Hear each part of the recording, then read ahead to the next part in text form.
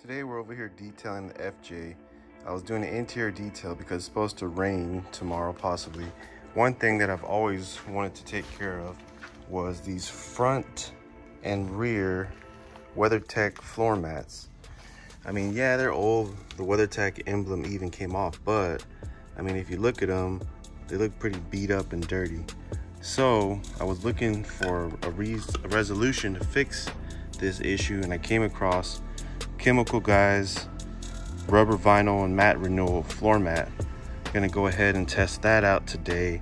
And I guess the only other thing that I really need is this brush, water, and time, and muscle and grit. So let's get this project going.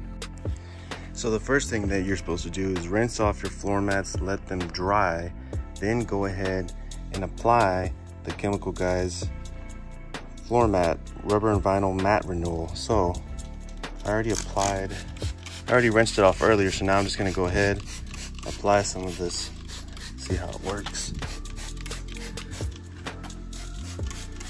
As you can see, these floor mats, like, I mean, they've saved my FJ a lot of trouble getting out all the dirt, sand, mud from off-roading.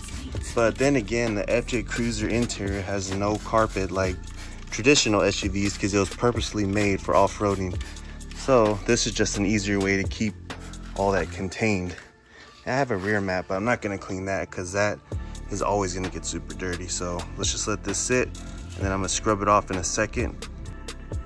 So now you wanna get a nice bristle brush, preferably a hard one, and start scrubbing, getting out all that mud and grime, and then rinse it off following that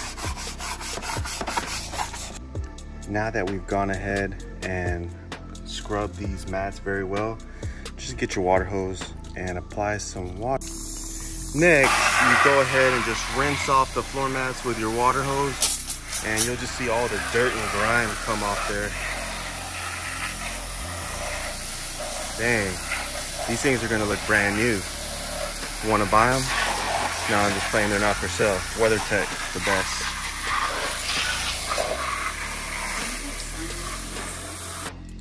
I just finished detailing the FJ, giving it a nice underbody carriage spray, touching up everything. See the floor mats, I mean, they're old floor mats, so they look kind of faded, but I do gotta say the chemical guys wasn't too bad. Would I buy some more? Maybe, maybe not. I know one thing that I like, odor eliminator, leather seat scent.